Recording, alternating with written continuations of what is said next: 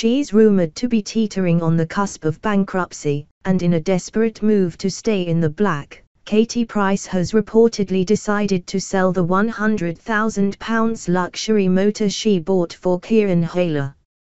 Back when things were good in spring 2017, she marked her soon-to-be ex-husband's 30th by presenting him with the Audi R8 V10 Spider, which she bought second-hand for £77,000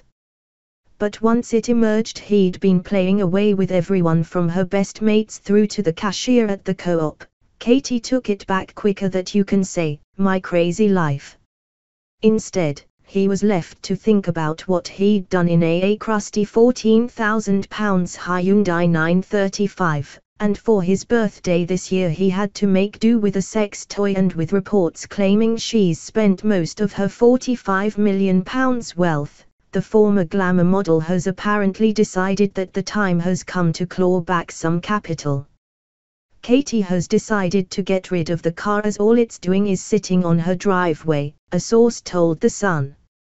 It's nothing but bad memories for her now and she needs the money.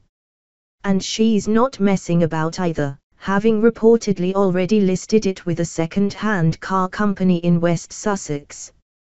Her latest attempt at frugality follows claims she hemorrhaging money, having allegedly splashed out a supposed £2,000 a month just to keep the heating on 24 7ths.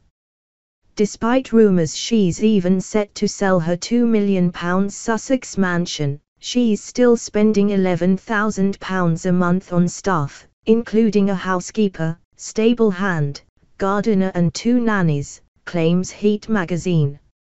On top of, of a hefty £10,000 a month mortgage, she's also reportedly spending £1,500 on twice weekly manicures and pedicures, £1,000 on getting her hair done, £800 on massages every other day, £800 on a makeup artist, £400 on facials and £500 on age-reversing treatments